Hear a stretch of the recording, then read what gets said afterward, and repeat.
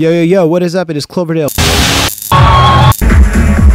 Welcome back to another Cloverdale Studio tutorial. So pumped today to be telling you guys why you probably don't need a compressor on your kick drums. For real. I, have opened up a million projects and you guys all put compressors on your kick drums and you usually don't need them.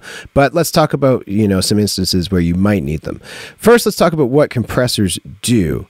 Actually, no. First, up there, the subscribe button. If you're enjoying what you're learning, that's that's up first. Okay, up second, compressors. Let's load up a compressor right here. And we got a kick drum, and let's just take a listen to it with nothing first, right? And so this kick, you know, the kick sample looks pretty great. So I got to figure out why am I adding a compressor in the first place, right? And when I'm looking at the shape here, up at this plugin, this is called Mini Meters, by the way. I recommend if you're producing music to get this plugin. It's only 10 bucks. They didn't even pay me to say that, but they should have. Uh, just kidding. Love you guys. It's a great plugin. Um, okay. So a compressor, you know, maybe I want to, you know, tame the tail end of it, right? So basically it's saying if the signal goes above this line, apply compression. And this says, okay, how quickly do we apply the compression? And then this says, how quickly do we lay off the compression? And what is compression? It's just turning the signal down. So just picture it like turning the volume down, right? Um, but it turns it down, then it bounces back up, and then turns down, bounces back up, turns it down, bounces back up, right? But in this case, we're dealing with just the same kick sample over and over and over again. So we really just need to worry about the compression over the span of one kick sample, right? And so here, look, it's look at how this has now changed the shape of my drum. And no wonder it's changed it that way because it's saying, okay, attack time is, you know, two, let's, you know, say seven milliseconds very, very short. But that seven milliseconds, that's that transient, right? So that's why that transient there is still very loud. And then the body is being ducked. It's because you have seven milliseconds, which the transient can go through the compressor. And basically, it's just compressing everything after seven milliseconds. So that's why the kick looks like that. Now, does that kick look that great? Not really. It looks like it's a very thick, transienty kick. I would argue that this kick looks much more balanced, and you know the transient is kind of the peak, and then the body kind of feels the same, and then it kind of tails off. You know, I'd say that looks like a, a good looking kick drum. So you know, maybe a kick like this and probably most of the samples that you're downloading from Splice or from wherever you're getting your samples from are already compressed. The sound designer that made the samples already compressed them and they're probably pretty balanced. Okay, well let's let's just take a look at this one here.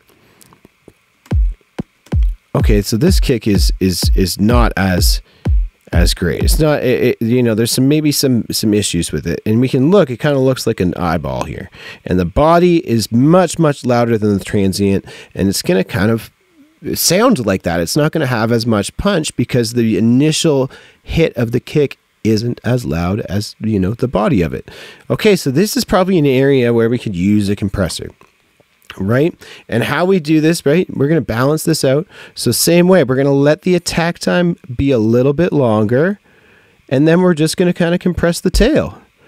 And let's take see if we can do that. So we're just going to bring the threshold down have a longer attack. And even wow look at that. That kick is starting to look much more balanced. And then at the end, you know, so now obviously that kick is much louder than this kick because we've turned the volume down. That's all we're doing when we're compressing. We're just turning the volume down. And now I can turn the output back up. And now we have kind of a much more balanced, transienty, full kick than what we had before. Voila. You know, that's that's that is some kick drum basics with a compressor. Okay, let's let's look at the inverse now. So we this is a kick here that maybe the transient is a bit too too hard, too harsh, too loud. Right? So maybe we'll add another compressor here. And in this case, we want a very, very, very short attack time, probably a pretty short release time, because all we're trying to compress here is just this initial bit. So then it'll be more balanced with the rest of the kick drum. So I'm just trying to turn that little blue part down is all I'm going to try and do. So I'm going to bring the threshold down da, da, da, as I bring it down. Oh, look, it's not really working. It's kind of just, eh, you know, that first initial hit is still kind of going through. Why is that? And that's because computers are only so fast, right? Ableton is just sort of reading this information. I could be routing this my voice and it would be doing this all in live time, right? In, in real time. But uh, so because computers can only read information so fast, we need to actually give it this little look ahead thing. And what it does is it says, okay, I'm going to I'm going to skip ahead in the digital information and I'm going to look ahead 10 milliseconds just so I can preemptively apply the compression so that I can catch that initial transient. So if I turn that look ahead to 10 milliseconds, basically it's going to start looking to apply the compression a little earlier. And look now, you know, now we're starting to see a much more balanced signal. You know, we don't have that crazy transient spike that we had before. Maybe we'll apply a little bit more compression that way, and then we can turn it back up at the end. And now we have a lot, a much stronger low end than we did before. We're really pulling out that sub.